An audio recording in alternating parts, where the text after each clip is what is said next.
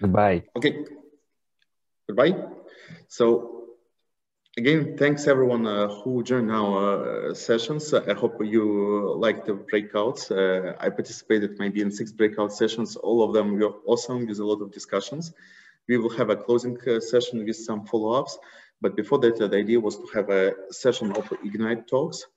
And the idea for these Ignite talks actually to just, again, share any kind of experiences and uh, to chat a lot. Um, so uh, have you already seen the agenda for Ignite talks? Okay, then I'll screen share. Just a second, I need uh, to close a few tabs so that I see something in my tabs. Uh, okay.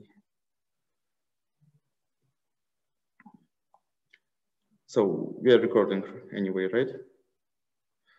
Uh, so I'm sharing my screen. Do you see it? Uh, so before we start, one of the things I want uh, to say that uh, yeah, we have a feedback form. So if you haven't uh, seen the link yet, uh, again, kind reminder, feedback is welcome. And yeah, this time CloudBees sponsors t-shirts. So if you want a special t-shirt like that, uh, you can uh, just uh, submit feedback and that's all you need to do. And yeah, uh, let's continue with um, actually Ignite talks. So what we have on the list. So the current idea that uh, we will basically go through the list and if you have some ideas, then uh, please just put them in the bottom of the list. So we will be continuing them until we either run out of time or out, out of sessions. And uh, yeah, what we have next, uh, first, uh, Twitter as code, uh, application for life at data science with honest, Harshit uh, Git credentials. Is Harshit here? Yes. Uh, yeah. Then, we have a session about uh, inclusive naming. Uh, Angelica is not here, but I will briefly pitch it. So it's uh, the topic we were unable to do, then celebrating contributions and uh, highlighting contributors and launching uh, Jenkins Francophone again, if you just have time, because why not? Okay. And again, if you have ideas, just put them here. Uh, so this one is rather fun event. That's something. Uh, so I will use it uh, only if nobody wants to present anything more useful. So first of all, Twitter as code. Who did participate in our uh, session uh, yesterday? Uh, we were doing uh, Birds of Feather together with Mark. Did everyone participate? Okay. Do you like uh, memes and jokes? So good news is that if you like them, we have a special uh, Twitter account for you now. This Twitter account is called um, Memkins. It was created a while ago. Um, and what we have here, yeah, nice logo, of course, uh, inspired by Memenetus. And uh, well, when it finally loads, because I'm not sure what happens, you will see a lot of images. Uh, okay. Yeah, so something like that. Some memes are related uh, to Jenkins, some are not. Here's, for example, uh, our slide from a presentation with Mark, uh, because why not? It's definitely something about memes. Uh, and yeah, like that. And uh, for example, yesterday when I, I was doing Roberto Fide, uh, I posted this tweet. And actually what I wanted to show you. It's of course not a MEMS channel, but how it actually works under the hood, because it's actually Twitter as code at least uh, for some posts. Uh, so there is a repository called uh, Jenkins CI Memenetus, oh, sorry, Memkins. And this is a repository actually powered by GitHub Actions. And this repository uh, uses Twitter together. So it's a standard GitHub action created for posting Twitter. Um, uh, it was created by one of GitLab, uh, sorry, GitHub employees. It works pretty well. Uh, and I was experimenting uh, with Target to, making all uh, Jenkins Twitter accounts managed by code. And I still intend to do that, but yeah, I needed Playground, hence Memkins. And yeah, so if you're interested how it looks like, uh, so there is some pull request template, etc. And uh, there is also a pipeline which basically does two type, uh, things. Firstly, it allows doing previews in, when you create pull requests. And secondly, it uh, allows tweeting when you actually do something uh, more useful and you can see that it accesses uh, Twitter as an app. So you need to register it, but after that you can use it as a, an action. And here, for example, uh, yeah, well, basically it's all we have in this repository and this is tweets. So this, for example, what I created uh, uh, uh, last time. Hello, world, memes are coming. And yeah, just a link to the repository. So there are some limitations. Right now it supports only open graph. You cannot embed images, which is a kind of fatal flaws for memkins. Uh, so I wanted to actually combine it with uh, there is another um, tool which can generate memes uh, from some text and images. So I wanted to create a GitHub action for them and create a chain. So we define mem as code and then it generates image and posts the image.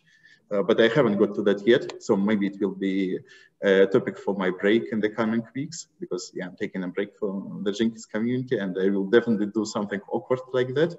Uh, but yeah, let's see. Uh, so let's actually see how it works in practice. Mm, does anyone want to post something? Okay, so how it works. You as contributor, we can create new file. Actually, it's not uh, uh, May anymore, it's uh, June. And for example, here, what, what we could keep with mems, etc. I'm not sure. Okay.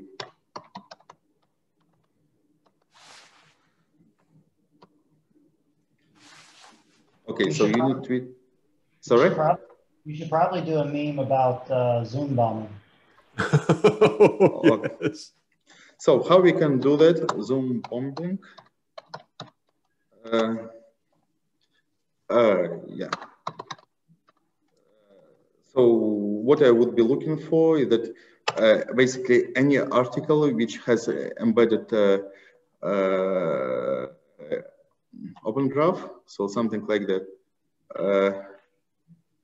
Uh, okay, let's try. So we have a, an article from New York Times, uh, and I'm going to do something weird because that's why we have uh, uh, Slack, because Slack resolves open graphs. So how I usually test it, something like that. Zoom bombing, well, actually they are boring. Uh, so uh, register. So if you want something uh, on, uh, okay. So I assume that uh, the register has a cool open graph as usual, right? Uh, attacks Texas. Sounds fun, right? What could pose?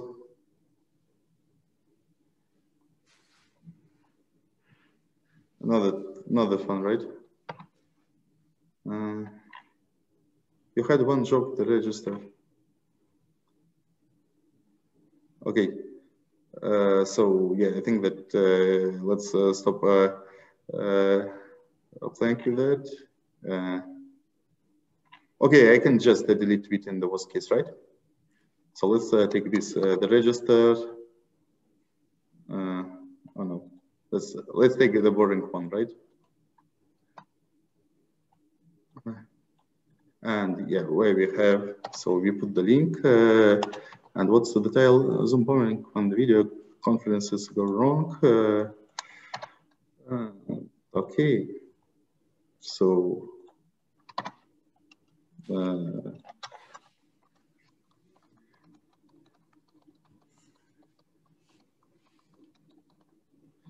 Okay, with uh, this Ignite talks, we will definitely use all the time, right? But uh, well, Jenkins Contributor Summit uh, goes wrong.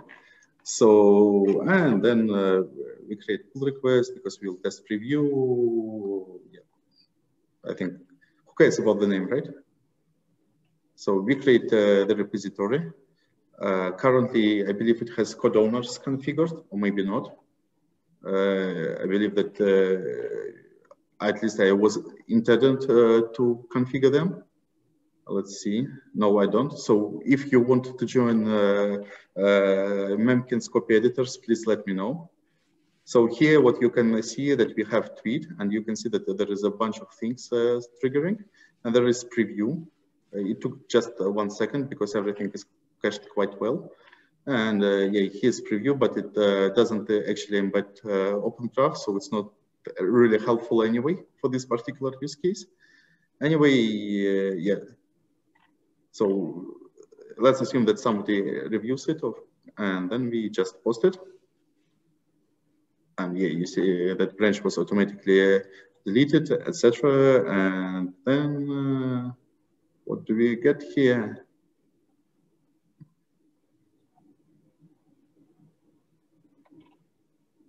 Yeah, it takes some time because after the merge, uh, what happens? Actually, there is another GitHub action being triggered. Uh, it takes a bit longer because it actually needs to connect to Twitter API. So I was a bit optimistic. And here you can see that uh, the result should uh, actually feedback that it was tweeted. So it even uh, puts the status in the text. And you just go to the hyperlink and and, and done. So, well, uh, yeah, assuming that you have uh, open graphs, it's nice, uh, and uh, we can automate that. But I think that it would be a good engine for things like release announcements, pull request announcements, because GitHub uh, generates uh, actions automatically now. Sorry, open graphs. So if you use GitHub, you can actually do a lot of cool stuff. Basically, we could automate the Jenkins releases, especially when GitHub supports Open Graph for releases we could uh, highlight key pull requests uh, basically with uh, zero effort. So let's say it just five likes and we automatically generate a pull request for Jenkins releases or for Jenkins CI, which highlights this tweet, sorry, pull request. And then we just review it, maybe edit some text and push that. So we can leverage uh, this Twitter as code uh, for a lot of content we can, uh, for example, automate the tweeting from uh, community Jenkins IO by putting triggers. We could uh, uh automate tweeting releases of Jenkins plugins in our pipelines. So as engine, Twitter as code is very promising. And I think that we should actually keep exploring that. And the new accounts I will be creating, for example, for French speaking community, I will be connecting them to Twitter as code right away and looking for contributors, which is more difficult than automating, as you know. Uh, but uh, yeah, I will be doing it as well. So yeah, it wasn't exactly Ignite talk, but I hope you enjoyed that. And uh, you're welcome to try it out. Uh, so it's all open source. That was a live demo that you actually, you know, made an entertaining post from. That's that's that's no joke. That, that that's not the easiest task. All right, live, well, live I, finding I of a meme, just like got it yeah, it was completely unprepared. Stay tuned uh, for my last live demo when I will be creating a tweet in French and prepared. this is worse.